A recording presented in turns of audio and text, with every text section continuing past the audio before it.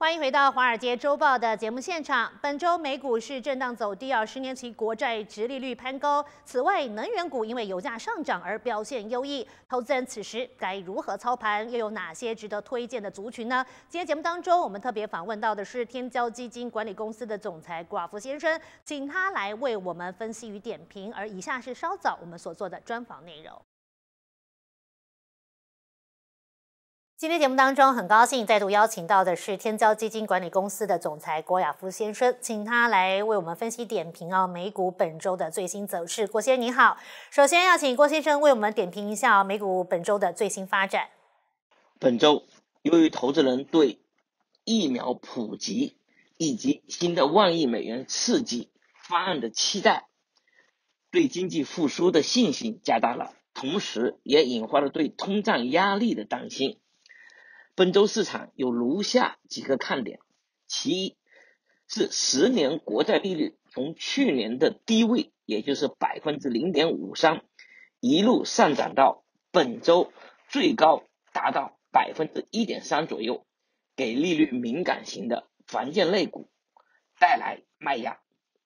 其二，德州大雪封天，使美国石油供应产生短期的不足。油价大幅上涨，美油和国际油价都上了六十美元大关，回到了去年疫情前的水平。石油板块表现的可圈可点，除原油外，其他期货市场也是牛气冲天。从棉花到木头，从铜到白金，再到黄小玉，也就是黄豆、小麦、玉米，都创了新高。带动了相关行业的类股，比如说铜矿业也都创了新高，打压了以这些期货为生产资料的另一类行业。好的，近期经济循环股呢表现是比较优异的，这个油价上涨使得能源股表现强劲，另外金融股呢表现也是优于大盘的。呃，郭先生对于经济循环股的后市表现看法如何呢？当前市场最关注的不外乎还是。疫苗的接种和刺激方案的推出，如果一切顺利，经济复苏呢将会是大概率事件，资金会继续留在经济循环的类股和板块上，但投资人具体投哪几个行业或股票，还是要做一些功课的。比如说，由于担心通货膨胀，理论上讲。以防通胀为著称的黄金、白银应该表现不错，但近期却表现平平。主要原因是比特币近期名声大振，涨幅又大，分流了一部分保值的基金。同样，工业金属铜的需求就要比其他的工业金属大。一方面是经济复苏直接的推力，另一方面。是电动车的普及对铜的需求加大了很多，因为普通的汽车每辆车用铜量呢大约是二十三公斤，而电动车则高达五十七公斤，所以说随着电动车的普及，铜的需求也会越来越大。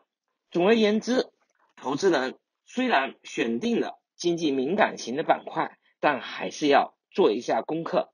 另外，近期他们也涨了不少，应该在选择回调的时候再择机建仓比较安全一些。是的，另外，股神巴菲特他旗下的伯克夏海瑟威呢，近期是买入了油股雪佛龙，还有呢通讯股 Verizon 哦，能不能分析一下股神看好的原因？投资人此时可以跟进吗？股神巴菲特先生曾告诫投资人，一定要区分一个上市公司的。三个价值，一个是他们的账面价值，一个是他们的内在价值，还有一个就是他们的市值，也就是我们所说的市场价值。投资的基础呢是投资该企业的内在价值，既不是投它的账面价值，也不是投它的市值。为什么这么说呢？首先，账面价值是指企业的净资产。啊，决定企业账面价值呢，基本上是过去账面的资产价值以及现在账面的盈余。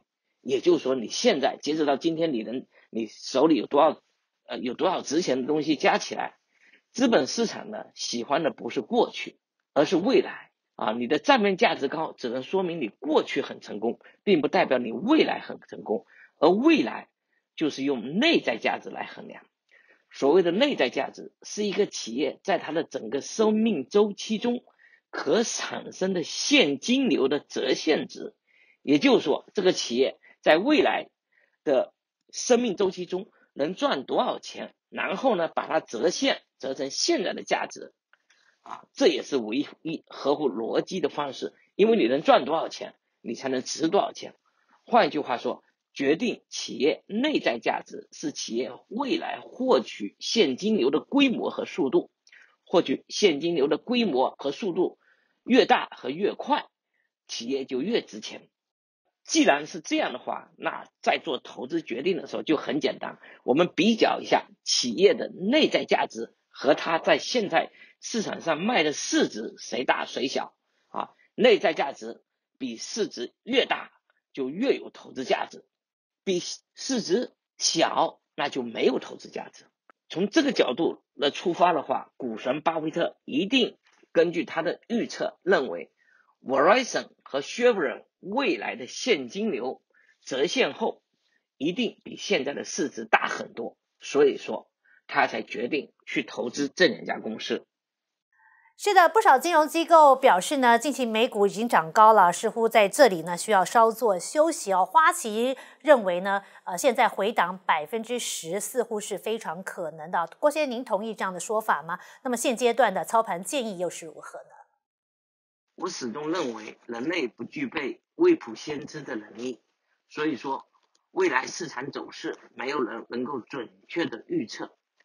我建议投资人只要养成良好的风控习惯，制定适合自己的交易计划，并严格执行这个计划，就能应对各种市场环境。换一句话说，当市场继续上涨时，我们有计划的。加大仓位，如果市场开始回调，我们可以有计划的按停损停利，减少仓位。只有这样，我们才能以不变应万变。将会复苏，经济循环股的后市的确看好，但是呢，投资人也还是需要针对不同的族群做了解，例如近期。黄金与白银的价格就因为比特币的涨势而遭到压抑，而郭先生建议啊，投资人随时都必须做好风险控管。股市在上升的时候要增加进仓，而股市回调的时候就要逐渐的减仓，这样才能立于不败之地。好的，以上就是本周华尔街周报的节目内容，提供观众朋友您做个投资上的建议与参考。祝大家周末愉快，我们下个星期同一时间再会。